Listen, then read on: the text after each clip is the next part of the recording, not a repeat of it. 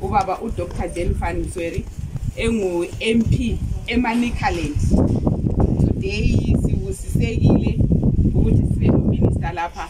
Ethunywe ngubaba upresident udr ed mnangagwa ukuthi abuye azovula ilaboratory yethu yama-computers lapha sesenzela abantwa bethu ukuthi bafunde.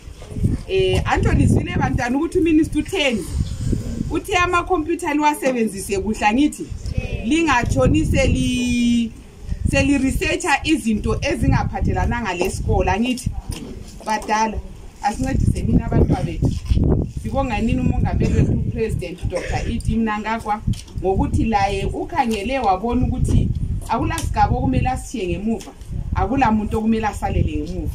Lathi siku-rural setup ubone kuqakathekile ukuthi lathi sibe connected.